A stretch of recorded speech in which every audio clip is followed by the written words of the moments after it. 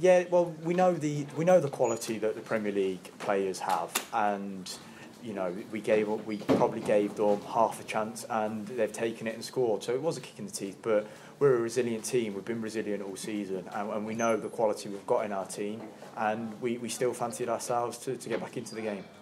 Yeah, you came back well, but then got hit by that another stick there just before. Well, yeah, that's that's a kick in the teeth, isn't it? Because of the the fact that it was what 30 seconds before half time. If you get in at one 0 the second half, I thought we played really well. We we, we could have snuck a goal, and, and then obviously it's game on.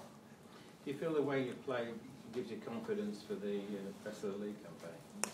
Yeah, but I think we're like I said before, we're a confident bunch anyway, and we will take the positives out of today's game like we do with every game, and we'll work very hard to improve game on game to pick up as many points as we can to the end of the season.